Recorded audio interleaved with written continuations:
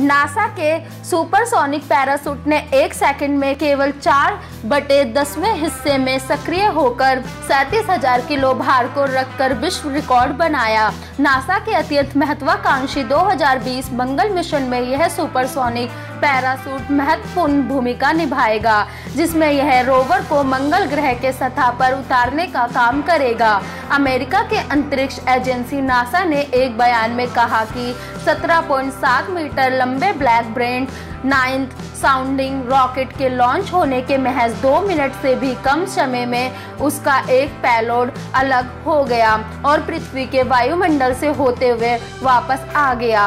बयान में कहा गया है कि जब विमान में रखे सेंसर ने निर्धारित किया कि पैलोड उपयुक्त ऊंचाई 38 किलोमीटर और मैक नंबर 1.8 तक पहुँच गया है तो पेलोड ने पैरासूट तान दिया।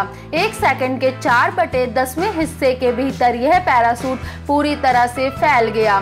नासा के मुताबिक इस आकार वाले पैरासूट के खुलने की गति के हिसाब से देखा जाए तो यह इतिहास की सबसे तेज प्रक्रिया थी। यह पैरासूट नायलॉन, टेक्नोरा और केवलर फाइबर से बनाया गया है। मंगल 2020 मिशन पर इस्तेमाल किए जाने वाले पैराशूट को तैयार कर रहा है। नासा मंगल 2020 अभियान के तहत भारी उपकरणों को मंगल पर उतारेगा, जिसमें इस पैराशूट का इस्तेमाल किया जाएगा। असल न्यूज़ ब्यूरो रिपोर्ट।